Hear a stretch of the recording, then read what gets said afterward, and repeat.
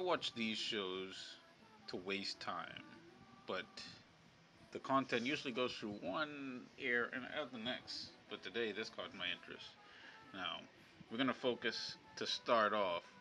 Look how Nick says Jeanie Buss's name under his breath.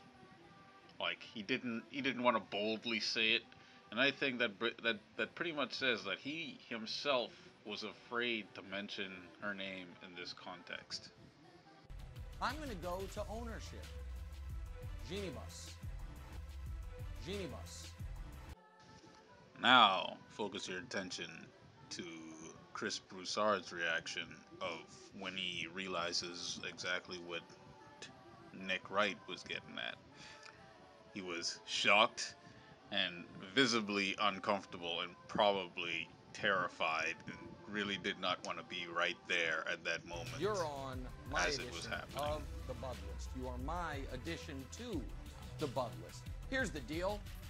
We've seen this story in sports and in business. Hundred edition of the Bud List. You are my addition to the Bud List. Here's the deal. We've seen this story in sports and in business. Hundred Oh yeah, to add to that, just for for for Pete's sake, let's let's look at like the faces that's on this backdrop.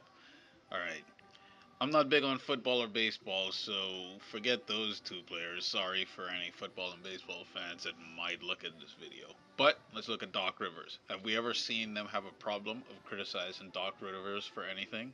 Have we seen them have a problem criticizing Kevin Durant? Zion Williamson, they call him fat, out of out of shape, injury prone. Uh, David Griffin, they don't like how they how he's how they've been putting kid gloves on Zion and how he's handled stuff. There there's been criticism put out on everyone, but and probably the baseball and football guys too if I was more uh, educated on that stuff. But Jeanie Buss, uh, I mean, I, I commend Nick for actually saying anything. of times. The patriarch or matriarch of a family builds a business, passes it down to the kids, and they run it into the ground. Nobody wants to say it because Jeanie Buss is friends with everybody.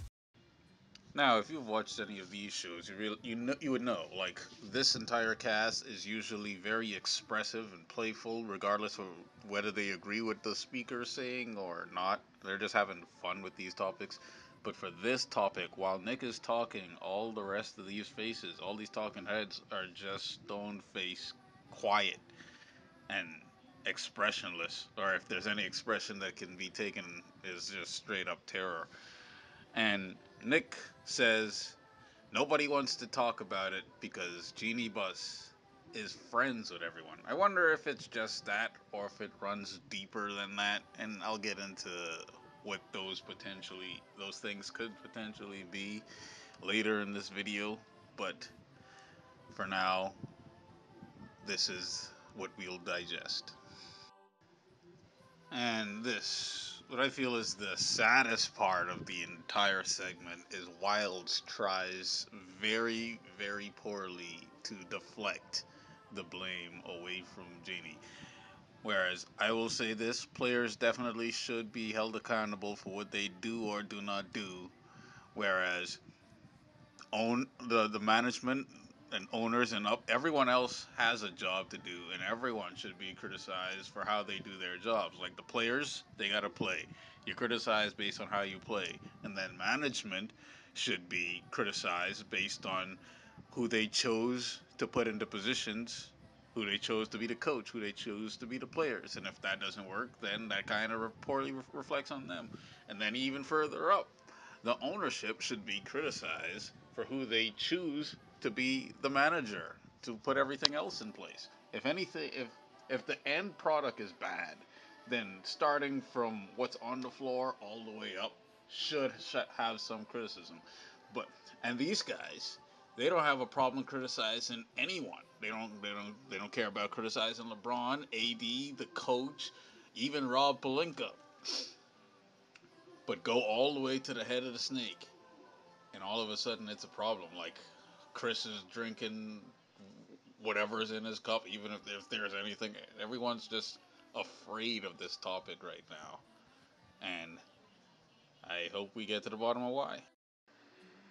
Now, initially, I talked about this with a few people, and I got one answer that I wasn't expecting.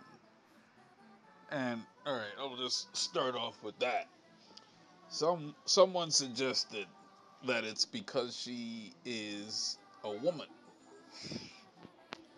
And criticizing women in sports is a no-no. And initially I thought that was a stupid thought, but it it actually has some merit to it because as hard as I think about it, I really can't think of women in this space being criticized too much. The, there's when it comes to women in sports, there's two stories I could think of. But I'll focus on the one that pertains to the NBA. In the NBA, a couple of years back, Chris Paul criticized a female referee for her play calling on or ability as a referee in general.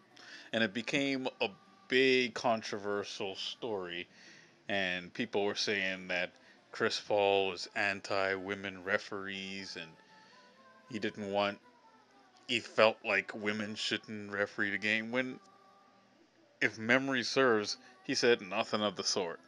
He signaled her out as an individual with a referee uniform and a referee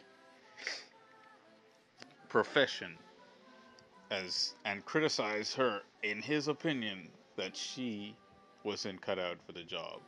Not because she was a woman just based on her performance just based on her performance not based on her gender. But everyone was spinning it and made made Chris Paul the bad guy. So so when I really think about it, it, it does kind of have some credence. Is it because she's a woman? Okay, now that potential issue aside, my first initial reaction was is it because of the amount of money she has? When you have a lot of money, you have a lot of control. And I don't know the range of her reach. I don't know the reach of her pockets. I don't I don't know. But perhaps a lot of people in this in this sports space in one form or fashion that I cannot see with my own eyes have some kind of financial uh what's the word? Like they depend on her or something that she controls and that that fattens their pockets or or something. Maybe i don't know. That's my speculation. But when I think about the woman part, that might have more credence or at least more evidence that I actually know of to back it up. Now, I'll kind of end here, but I do want to say before I end that I went and searched Twitter to see if anyone was talking about this segment, and I found and I realized that like two days ago, Stephen A was pretty open in a criticism for for Jeanie Buss on something that he did. And there was Jalen Rose present and Mike Wilbon and whatnot. You can look it up. I'm not gonna post a video. But none of them seem to have the the same level of feared reactions as people on this cast perhaps I don't know. Maybe maybe her reach, if it's a reach thing, spreads throughout the Fox network more than it does ESPN. Maybe I don't know. I'm just a guy looking at the talking heads, and I'm signing off with that.